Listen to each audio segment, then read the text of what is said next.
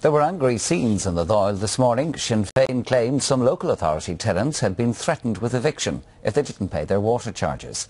Earlier, Micheál Martin asked if Irish Water was worth the trouble, given the limited revenue it would raise.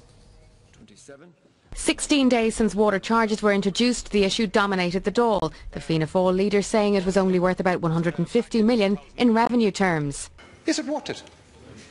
Is the establishment of Irish Water worth Uh, all, the, all the challenges, the extraordinary expense involved in setting up a, a gold-plated bureaucracy. The health of citizens, adequacy of water supply and adequacy of water for further investment into the country is essential. Thank you, I'm saying to you that the best way to do that is to do it not through 34 local authorities, which failed, but to do it through a single, modern, consumer-focused utility. Sinn Féin's Mary Lou McDonald produced a letter from Wicklow County Council to rental accommodation scheme tenants, which she said makes clear that failure to pay water charges could result in their eviction. The Taoiseach pointed out Sinn Féin and independents had control of Wicklow County Council and advised her to take the time out to ring her party colleagues on the issue. If anyone had any doubts as to whether or not you gave a toss about struggling families. They've had, by your smart Alec, dismissive and inaccurate response, they have their answer. So, smart Through the chair, aleck, please. Through the chair. smart aleck Taoiseach thinks it is smart to disregard the concerns that RAS tenants now have that their inability to pay your awful charge could jeopardise their home. Joan Burton said the budget contained 200 million in spending, including a back-to-work dividend scheme. where somebody in the household takes up employment and goes back to work.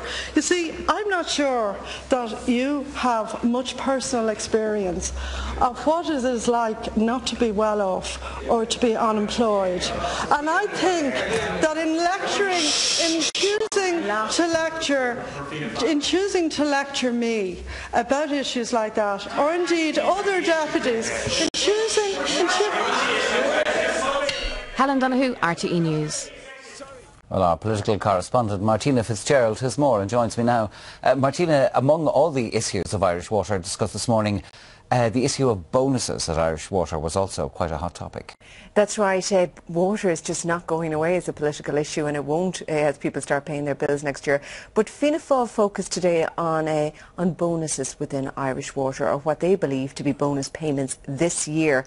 Now, despite utterances from Irish Water and, of course, various government politicians. Now, they made the point that Ervia, that's the parent company now for Irish Water and Bord Gáis uh, Networks, that it revealed that there was 545 staff shared 3.7 million in bonuses in 2013. But they're saying there's been a massive jump this year and that 5.1 million in bonuses has been paid to 940 staff uh, this year in 2014. So they're suggesting that it would be inconceivable that this does not include Irish Water staff. So that's quest the question. Uh, have or have they not been paid bonuses? And it's a very politically sensitive one. And really, Irish Water are going to have to come out very quickly and today and clarify this. Martina, thank you.